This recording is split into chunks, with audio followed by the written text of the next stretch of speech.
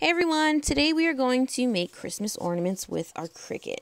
Please like and subscribe if you like this video. All right, for all my it. Cricut lovers, this one is for you. So, Design Space. If you have it, you know what to do.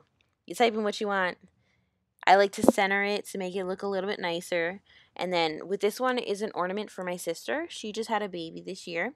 So I wanted to put the year. So every year when she puts it on her tree, she can remember it and it's a good memory and you know, everybody's happy. Um so what you do is you got to make sure you measure it correctly. There's squares on the mat and then it also matches your design space. So just make sure it fits because there's so many times I had to recut something and that's a nightmare because you just waste all this vinyl, which is why I have a whole bag filled with different scraps and pieces because you just never know. It could be something super small and you're just like, oh, here's a perfect piece.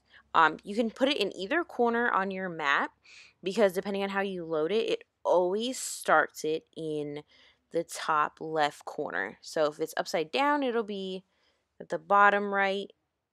Just make sure you load it correctly um, and then scrape it on there, leaving the backing of your vinyl on there because at the end you'll take that off. So when it's done, you hit the unload button, take your mat off, and then you peel the entire piece of vinyl off even with the backing.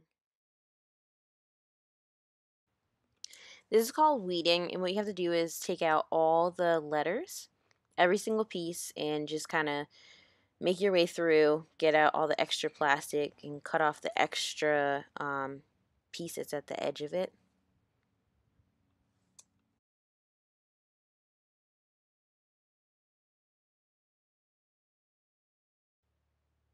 You're going to take your vinyl transfer tape and cut out the perfect piece that will fit what you already cut. Put it to the side, and then take the plastic off. I like to stick it to my shirt or something because sometimes it's too sticky and it'll make your letters not want to come off of it. And then rub it really hard so that way it all comes up with it. Then take your ornament and place it exactly where you want it and push it on there with the scraper tool as the best you can and then peel back your letters. Sometimes, especially with this being wood, it's really flaky, so it's a little bit more difficult to get it to stick. So you'll see it takes me a little bit longer than it would with just like something less like grainy.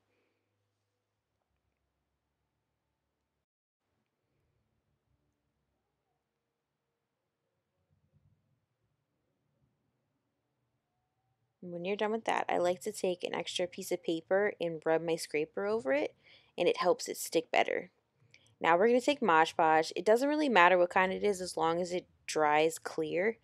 I like to scoop a bunch on it just to spread it around, especially because this is wood and there's a lot of little like holes in it and stuff. So I'm trying to fill it in to make it look a lot smoother and finished and not so rustic looking because it, it's supposed to last, you know, so a good coat on it really goes a long way and it, it gives it a nice shine and it just holds the letters on and it just looks really nice.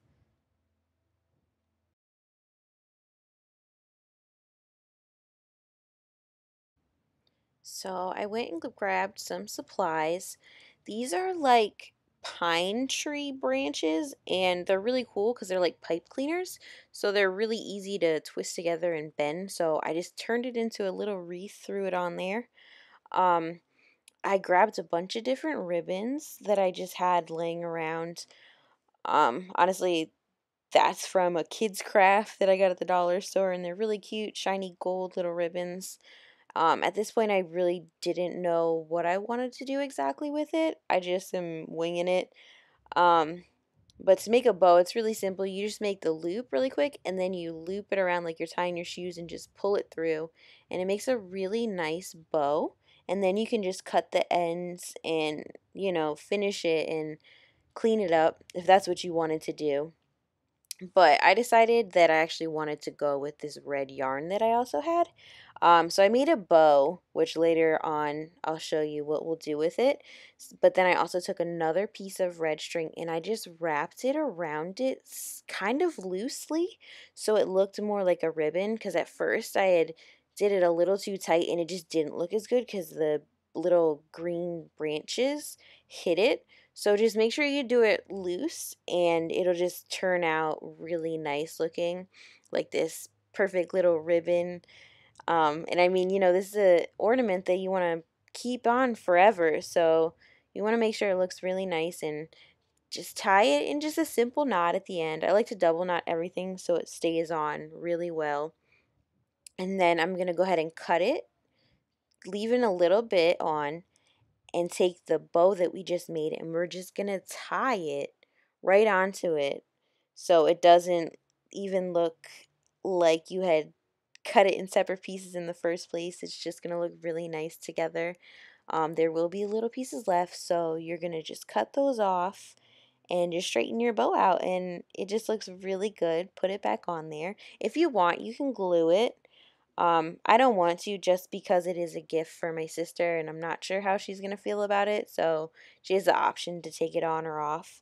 Um, I also have these really cool beads that they're in the shape of like little, um, you know, those big lights that you see. Um, so I'm just taking those and I'm putting them all around it. And I like to use each of every color. There was a couple blue. So the more colors, I think the better. Then we're just going to hot glue it on there. Be careful not to burn your fingers because I almost did that and that is definitely not fun. And I've done it way, way, way too many times.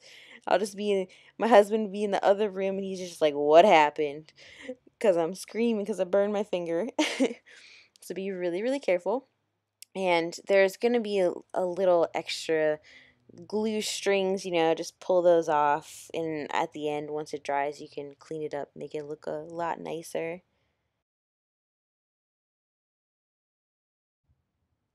And voila, here's your beautiful ornament. It looks so good on the tree. And these are also some other ideas that I did. So there's so many things you could do with this. Different color bows and it's it just makes everyone's personality and everyone loves them. I hope you love them. Thank you guys.